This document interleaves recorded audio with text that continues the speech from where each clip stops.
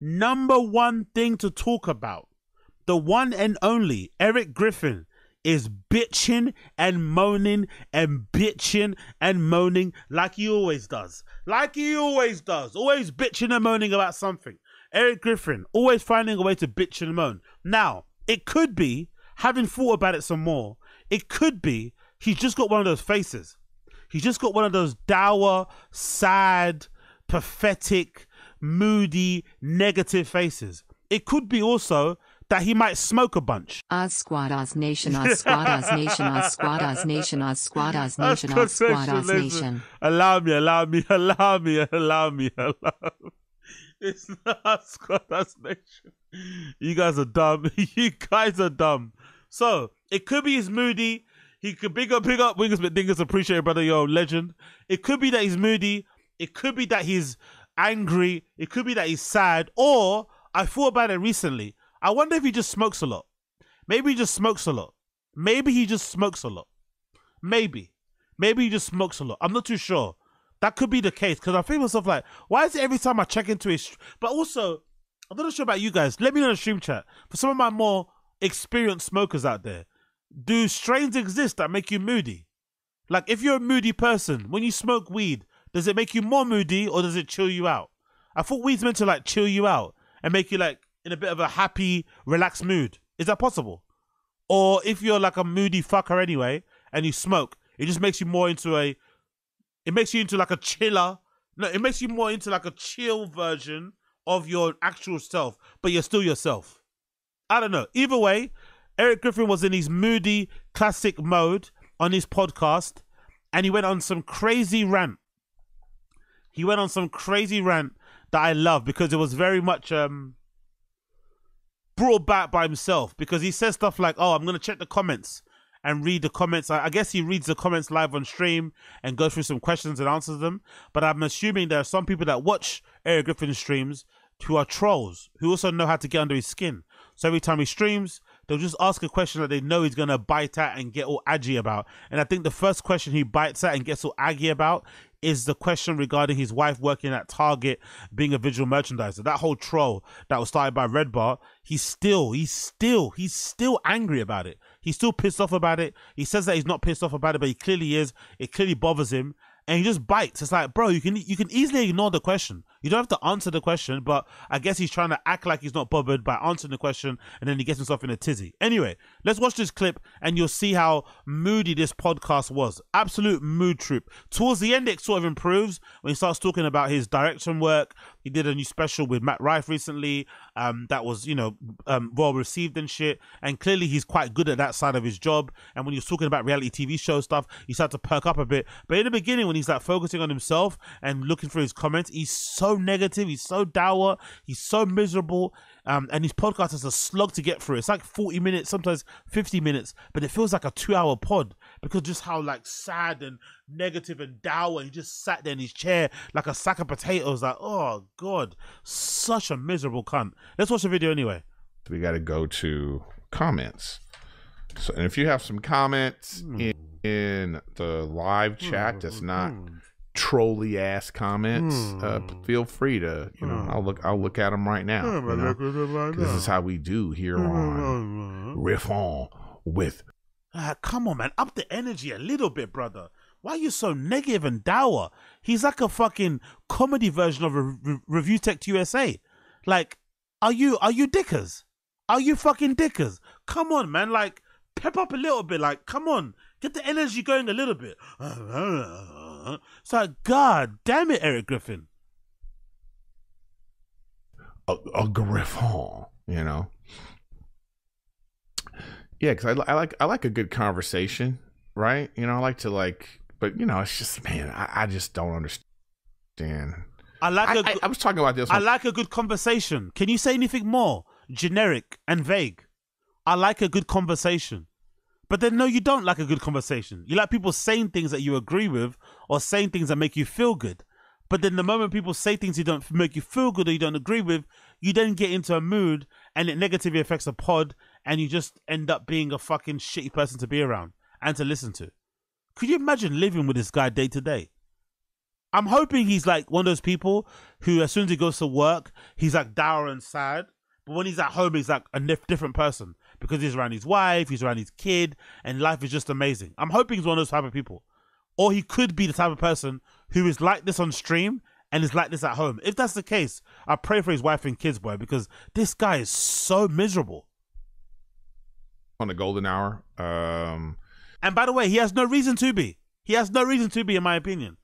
He's not that well known of a comic, but clearly he's good at stand up. Everyone always says whenever I'm riff, whenever I'm fucking ragging on him on the stream and saying how much I fucking dislike him as a person, everyone on the stream is always talking about, oh my god, no, I actually saw him do stand up. He's fucking amazing. Clearly he's good at directing and producing specials. He's done two of Matt Rife's specials so far. Clearly he's good at all that sort of shit he's living a good life in that regard. He's got a following on Twitch. He's got probably a decent Patreon going on. He does fucking gold now. Probably gets a good appearance fee for that thing. So life is kind of good for you. You recently married, got a kid. Life is actually decent. But this guy's acting like I don't know, as if he's like telling jokes on the street corner or something. So miserable, so dour. Like, come on.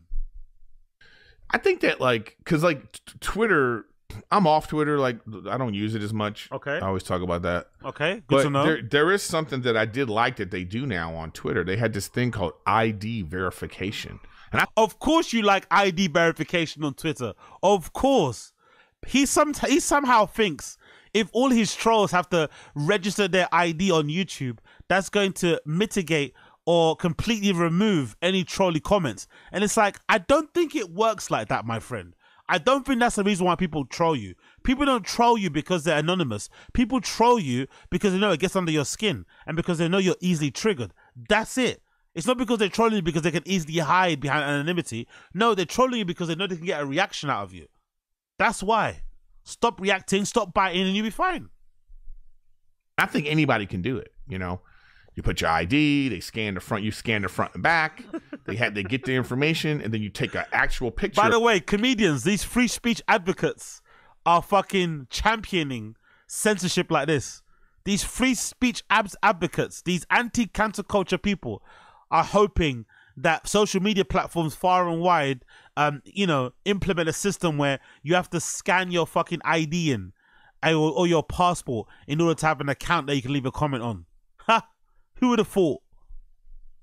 of yourself and then that picture they they verify that this is the person that um this is the person you know what i mean so i was like man this is how it should be i mean i think everybody should have to do that you know Yeah, I bet think you do. should I have bet to, you like, do. I that. bet then you do. can like I bet you something do. if something real nefarious happens from somebody's account or somebody says some off-putting stuff at least they it's there. They can know they can know they can send a letter to that person.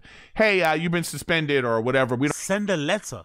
You want them to send a government letter, a government what a fucking uh, a letter-headed letter to them, to, saying what? You want them to send a fed to their home, SWAT, CIA, FBI, because they said you're a dour, negative motherfucker. You don't this is like hate speech or whatever it is like Hate that you know what i mean it's just too many cowards on the freaking internet Oh, tough guy Erik Griffin. Too many cowards.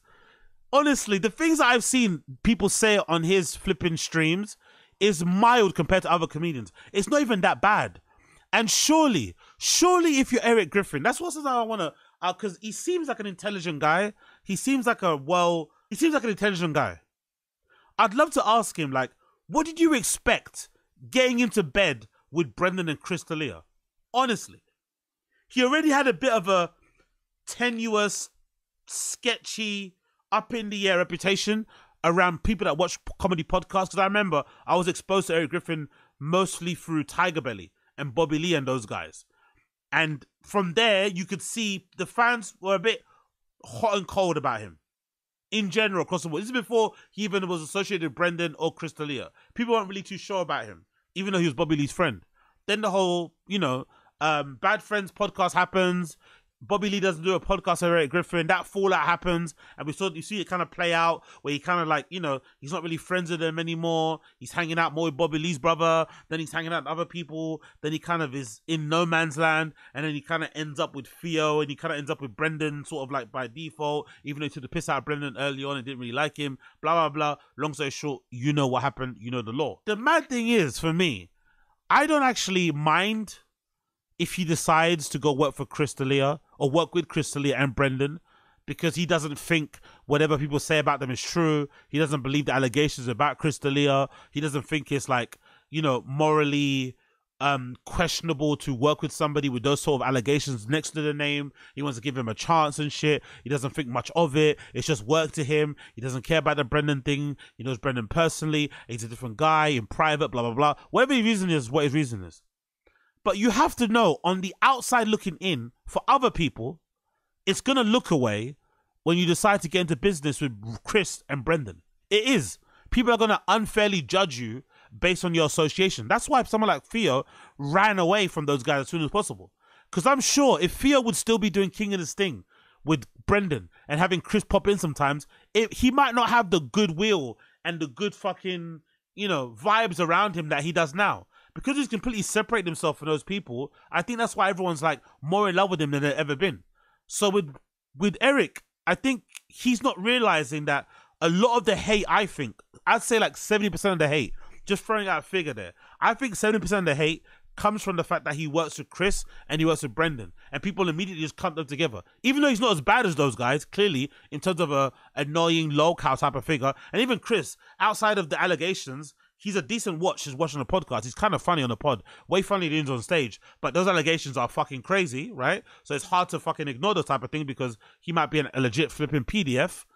But for some reason, Erik doesn't realize that working with a PDF and working with one of the most hated people in comedy and on YouTube might have negative consequences for you. And you might then get some of those leftover trolls coming in your comments trying to fucking press your buttons and get under your skin. That's it. It's not that hard to fucking get your head around. But he can't figure it out. He wants to fucking get the CIA involved, have people sign their fucking passports and put their IDs in. People are cowards. It's like, no, I don't think you're understanding what's happening, bro. Yes, you've got some money now. Yes, you've probably been able to secure your family's future. And he's probably got kids. He has to think about things differently. I understand. But the price you pay for securing your family's future by working with those people is that you have uh, a level of trolling and annoyance that you probably would would have never got if you never worked with them. That's the price you have to pay. It is what it is. But anyway, let's go to um Oh yeah, true. Big up Andrew Tent. Yeah, true. There was some allegations about Erik. There was some allegations about Erik too. Um, I forgot who said it. I'm not too sure if that was that. Um, who's the who's the light skinned girl with the with the big afro? Alice Alice Hamilton, right? Alice Alice Hamilton, Hamilton or Hamley, something. I think her name is Alice. Anyway, she said something about Erik, or she posted something that some girl sent about Erik about how he was like, you know, a little bit handsy, a little bit forward. And I think he tried to kind of, I think he tried to get in front of it by saying something himself. I think he tried to get in front of it, and it was a bit of a weird explanation. But I think she said something like that. I think so. I think so. let's go to uh comments right now. Uh let's see. Uh first comment, uh troll comment. I'm going to we'll just read it. I don't care. Is Of his why? Why though? Why when it bothers you? Why? Why when it bothers you? Why when it annoys you? Why when you're trying to put on a fun show for your fans do you spend like 10 minutes talking to trolls? This is classic lolcow behavior. It's like, bruh, this person or somebody else will see this and then guess what they're gonna do? They're gonna be there again next week, and the week after, and the week after, and the week after. God almighty. It's a troll comment. It's gonna hurt my feelings. I'm gonna go on a rant. I should ignore it, but let's go. Let's go. It's like, okay, I guess. his wife's still working at Target uh making $14 an hour just for fun in quotes. You know, he was trying to be like a